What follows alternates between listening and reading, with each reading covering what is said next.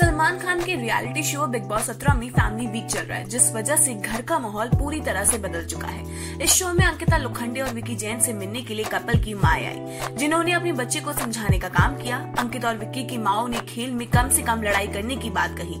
इसी बीच अंकिता लोखंडे की सासू माँ ने बहु रानी से अपनी नाराज़गी भी ज़ाहिर की। विक्की की माँ ने शो से बाहर आकर भी अंकिता के खिलाफ कई सारी बातें की हैं, जिसकी वजह से कई सिलिप्स इस पर अपनी राय दे रहे हैं। वहीं अब शो के कंटेस्टेंट रह चुके ऐश्वर्या शर्मा ने भी विकी जैन की माँ को खरी खोटी सुनाई है। दरअसल बिग बॉस सत्रह में विकी जैन की माँ ने अंकिता लोखंडे को बताया कि उन्होंने अब जब अपने विक्की को लात मारी थी तो विक्की के पापा ने सीधा एक्ट्रेस की माँ को फ़ोन कर दिया था और पूछा था कि क्या वो भी अपने पति को ऐसे ही लात मारती थी।